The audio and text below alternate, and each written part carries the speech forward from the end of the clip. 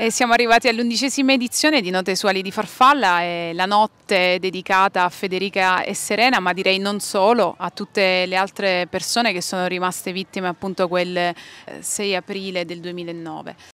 Siamo molto felici comunque di organizzare questa serata perché per noi è un modo anche di mh, continuare eh, loro, eh, i, loro, propositi che erano quelli appunto della solidarietà e dell'altruismo. Lo facciamo infatti eh, donando eh, delle attrezzature per la cucina per, della Mensa Multa Paucis di Teramo. Quell'evento penso un po' come a tutti noi ci ha cambiato totalmente la vita. Io eh, insomma oltre ad essere stato eh, coinvolto nel senso che uh, ho perso un sacco di persone care, un sacco di amici purtroppo. Il mio paese è stato veramente direttamente colpito perché sai, mm, un sacco di persone dipendevano all'Università all'Aquila, quindi ecco, l'abbiamo sentito veramente in prima persona.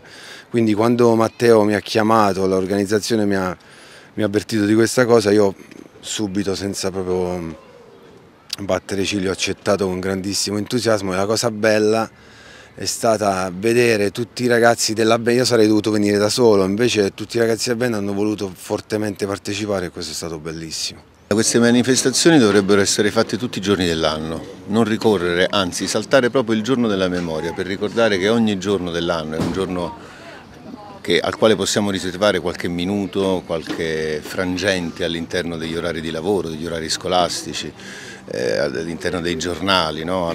sempre eh, stare sempre sul pezzo della memoria. Ecco, molto, dice, molto, spesso si dice stare sul pezzo di tante cose che onestamente mi sembra abbastanza superflue e non necessarie.